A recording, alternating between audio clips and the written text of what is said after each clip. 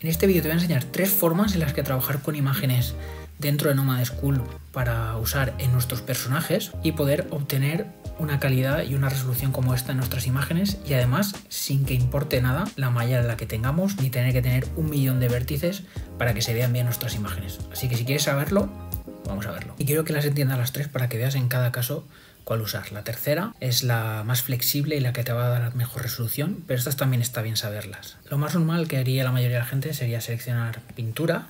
Iríamos aquí al, panel de, de pintura. Aquí tenemos la opción para cargar texturas en este caso he cargado el logo de Nomad, podemos elegir la aspereza.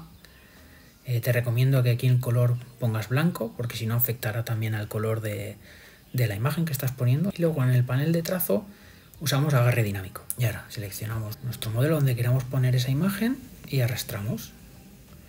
Pero veis, eh, aquí lo que pasa es que como tenemos una, una, malla de baja resolución, se nos ve con mala calidad. Tendríamos que subdividir mucho hasta, llegar a una resolución que nos permita verse bien. Por ejemplo, aquí he llegado al millón y ya se ve mejor.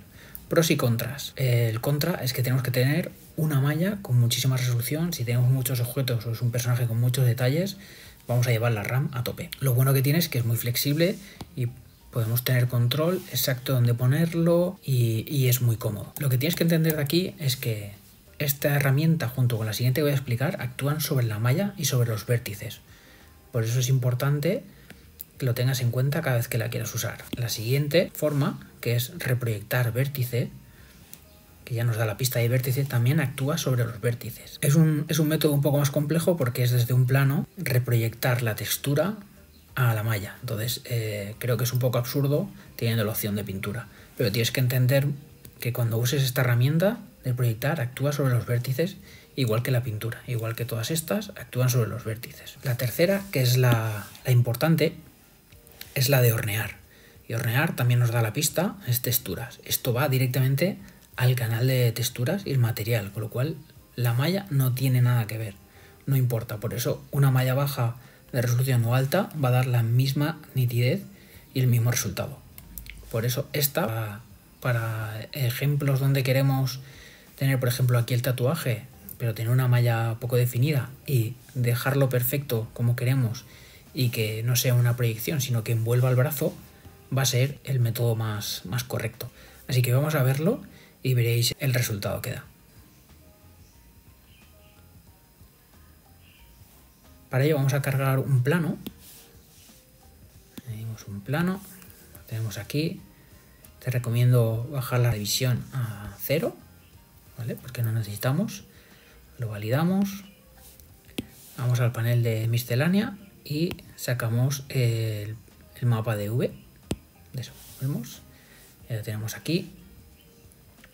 También tienes que tener en cuenta que donde vayas a querer proyectar, también tienes que sacar el mapa de Vs, pero eso es muy sencillo, simplemente lo seleccionas, como hemos hecho con el plano, y le das a, extraer. Aquí no necesitamos que tenga unas Vs perfectas, porque como va a ser una proyección, él solo va a hacer el trabajo de dejar cada porción de la imagen donde toca. Así que está muy bien porque trabajar las UVs dentro de Nomad es complicado. Entonces seleccionamos el plano y ahora podemos ir a material. En el panel de texturas en color vamos a cargar eh, la imagen que queremos. en este caso voy a cargar la del dragón que hemos visto en el ejemplo. Así que tenemos aquí el, dragón cargado. Eh, está bien que sea con alfa, que sea un PNG con alfa, porque así si no se te va a proyectar también el fondo. Tú piensas que todo lo que esté en el plano se va a proyectar. Así que es mejor que tengamos ese fondo quitado. Vamos a, colocar el dragón. Vamos aquí. Y esto actúa como proyector y tenemos que colocarlo pues bueno, donde, donde queramos que, que aparezca. Aquí es bueno trabajar en ortográfica, así que desactivamos perspectiva y lo ponemos donde queramos. Yo por ejemplo lo voy a poner ahí voy a acercarlo más al brazo voy a darle desactivamos el capturar y voy a darle la inclinación que tiene el brazo más o menos porque como es una proyección necesitamos que sea lo más paralelo y recto posible ahí estaría bien y ahora para hacer la proyección y, ver cómo es eh, tenemos que tener solo los dos objetos que van a funcionar juntos ¿vale? así que el brazo es el único que deberá estar suelto, así que desactivamos todos los demás. El plano lo dejamos, esto también y esto también. Bueno, ya tenemos los dos objetos que tienen que estar. Aquí eh, lo que recomiendo también es que en este caso eh, aislemos lo máximo posible esta zona. Si con la máscara seleccionamos, elegimos lazo y lo que quiero es simplemente dejar esta zona del brazo donde se va a proyectar el, el dragón. Así que seleccionamos así. Perfecto. Y ahora invertimos la máscara.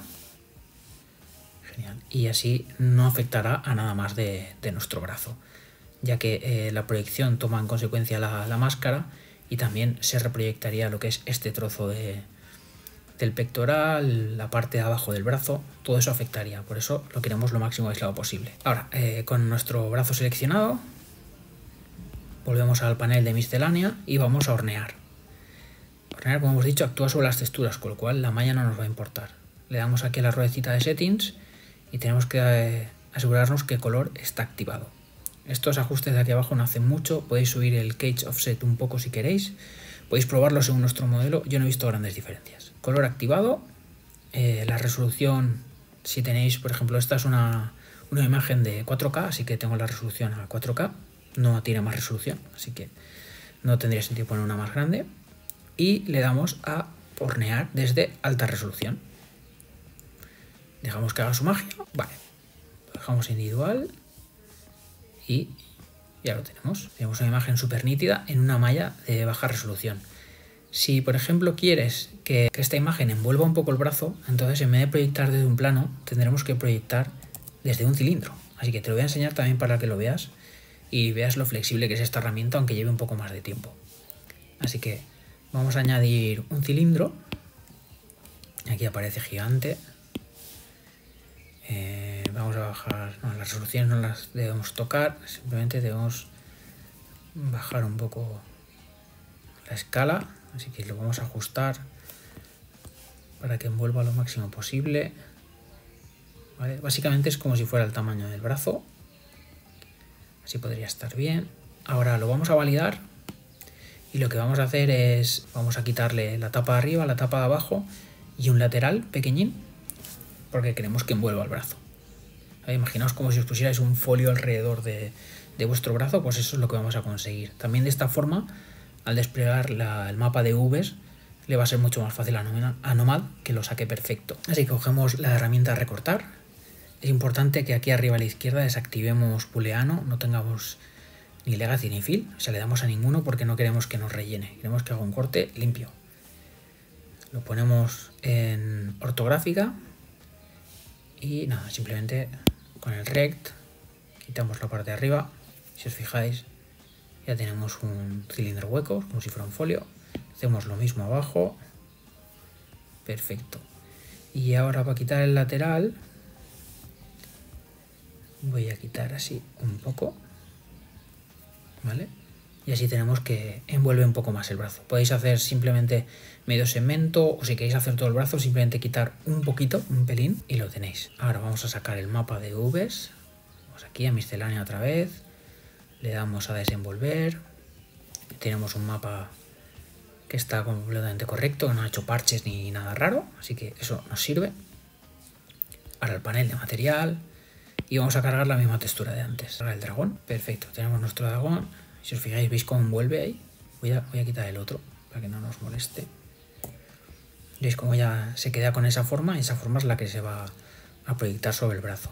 Lo que voy a hacer es modificar la, la imagen del dragón aquí dentro, en el panel de texturas. Y vamos a, simplemente vamos a rotarla. A ver, son 90 grados, los 90 grados. Ya tenemos el dragón.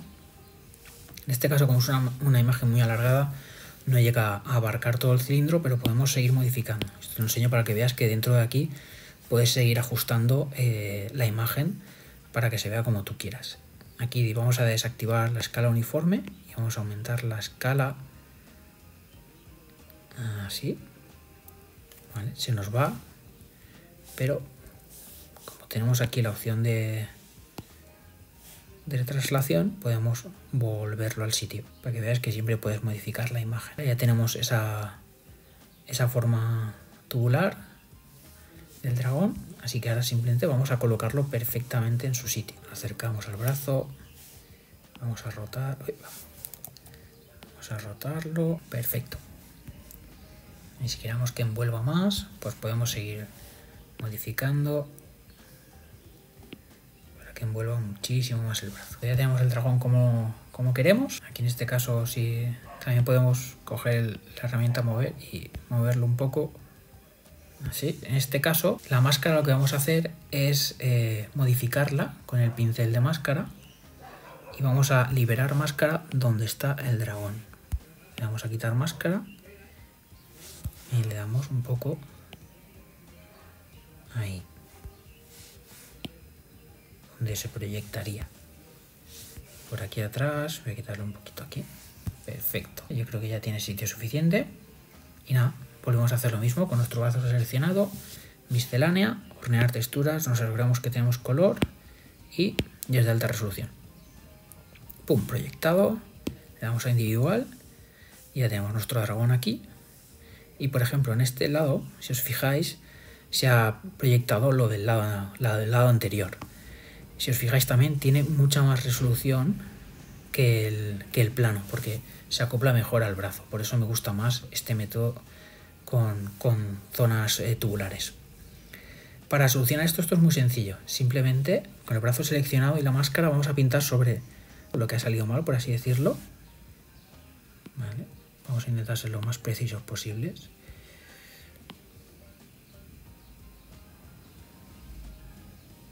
Pintamos sobre eso. Porque ahora lo que vamos a hacer es reproyectar